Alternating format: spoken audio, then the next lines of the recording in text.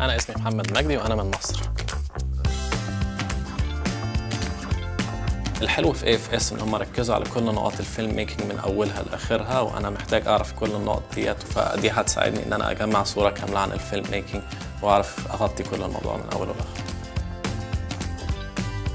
آه، بعد اي اف اس ما يخلص إن شاء الله هحاول أحط كل تركيزي على مهنة الإخراج عشان هي ديت حلم حياتي إن أنا أخرج الأفلام.